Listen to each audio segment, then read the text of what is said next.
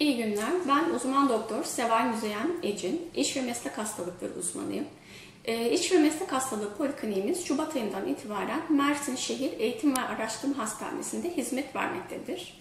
Meslek hastalığı çalışanın tekrarlanan bir sebeple meydana gelen, iş yerinde meydana gelen hastalıklar meslek hastalığı olarak kabul edilmektedir. Eğer hastalığınızın iş kaynaklandığını düşünüyorsanız meslek hastalıkları polikliniğimize başvurabilirsiniz. Sevkiyle gelmeniz gerekmektedir. Şimdi şu anda e, dünyanın gündeminde olan COVID-19 enfeksiyonu Dünya Sağlık Örgütü tarafından meslek hastalığı olarak kabul edilmektedir.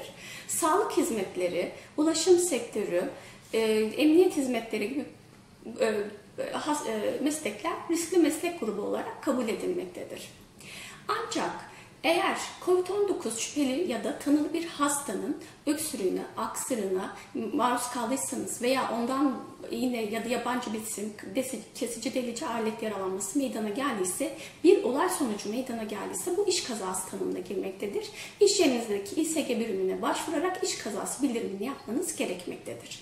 Bunun dışında bir olay tariflemezseniz ve COVID-19 tanınız varsa ve mesleğinizden kaynaklandığını düşünüyorsanız iyileştikten sonra gerekli belgelerle tanı ve tedavi belgelerinizle beraber sevkili polikliniğimize başvurabilirsiniz.